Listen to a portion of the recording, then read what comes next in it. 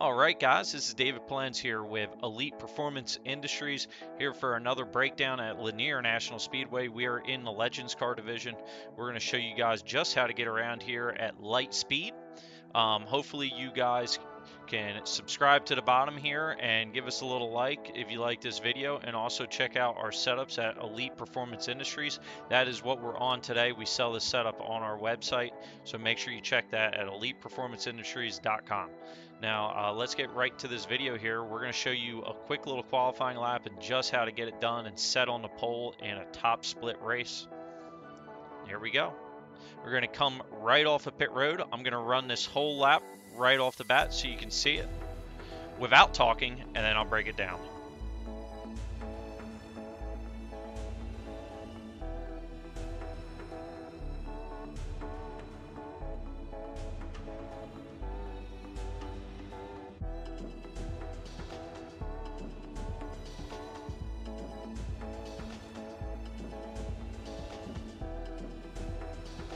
All right, so that's our qualifying lap. Pretty fast, sat on the top split race tonight, and we went on to win the race with our main race setup. But we're gonna break it down nice and neat for you. So, right when we come off of pit road here, we're gonna get right after it. Get through the gears as fast as you can. There's no blend line here down on the bottom left. So, this is only at Lanier and a few select tracks they haven't added a blend line. I find it kind of crazy here of all tracks not to have a blend line considering how close we run to the pit road wall. But anyway, that's besides the point. We're going to get right after it here. It's your option to stay down here and try to push the right front and get that heat in it. But you want to try to kind of scrub and push the car. You don't ever want to step the rear out on, coming to your qualifying lap because that can really loosen the car up um, headed into the lap for what our setups do. So uh, anyway, we're going to go ahead and haul tail out of pit road, head straight to the wall here. We're going to try to ride as close as we can.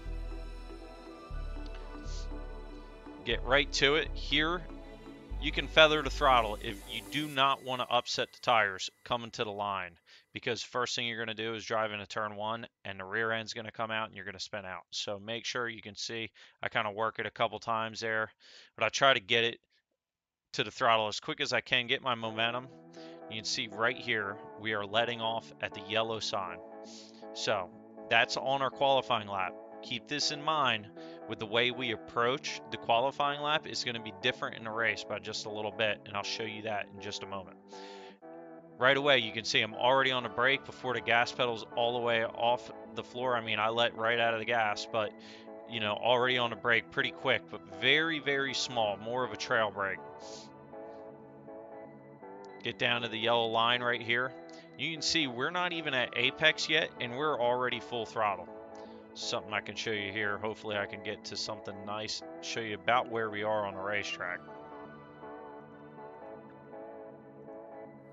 Not really any good angles here, but there's one. You can see we're getting on the throttle before that NASCAR sign, and if something a little bit better for you, this red barrel down at the bottom. Anyway, back to the cockpit view. Just some marks there for you. Run all the way through the corner here. Yellow sign, 20% brake. Get on it at the barrel as hard as you can, right up to the wall. I'm to get close to the wall as you can. Other things you can look at here for your trajectory in the turn are these lines and about what line you should be turning in at. You're trying to make a big circle here. Um, yeah, obviously we're circle track racing, but you're pretty much never out of the wheel. Very similar to Langley, another place that I love. So we're going to drive into three and four. You're going to see right here, we're going to let off. I don't even know my marks. I got to look back at it, but I go by feel.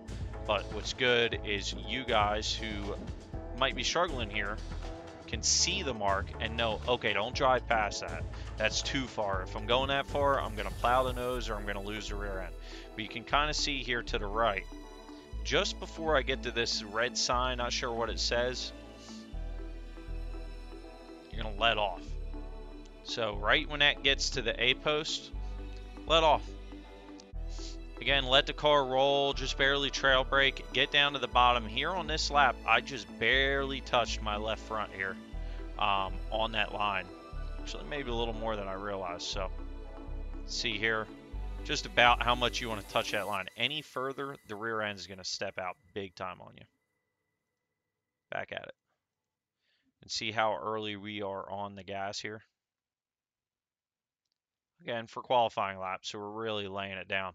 I'm already feeding it throttle before center. Happens real quick. And you can see again that red barrel, when it goes out of sight, if you're not almost full throttle by the time that goes out of sight, and definitely by pit exit, you know, of course, depends on your field of view here too. But um, in general, that's that's a good mark. You're getting on the throttle before apex on qualifying laps here, because by the time the car will grip up, it'll start turning and we'll haul butt down the straightaway, and there's your lap. Anyway, we're gonna go back to a race lap where we had a nice like 15 lap run somewhere in there. But I'm going to show you one more time. Q lap. Off at the yellow sign. Trail brake. On the gas at the red barrel before apex. Up, down, high on the straightaway. Just barely touch that yellow line. Hard back to the throttle. Alright, let's go back here. Find our Q lap. Or sorry, our uh, fast race lap right here. Just a lap before that. Alright. So, just kind of show you how we're coming to it already. I actually feel like I drive in deeper on my race lap because now the car's set is starting to feel really good.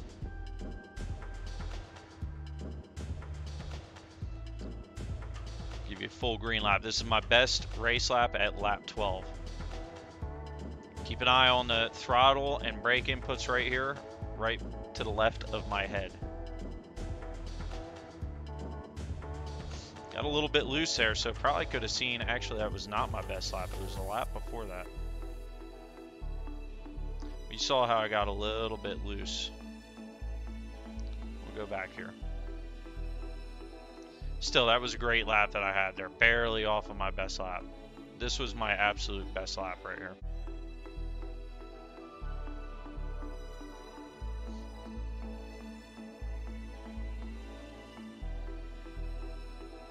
Boom.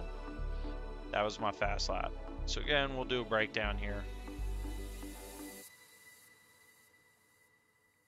So come off turn four, come down the front straight, and we are going to let off. We're actually going deeper than we do in qualifying. And the reason I think that is I'm able to use a little more brake once the race setup comes in. So we're letting off actually about a car length past that yellow sign. So when you see the yellow sign, you should probably be getting out of it um, in your right side view there, right when it gets to the A, po or A post on the right side. Again, just nice, smooth trail brake.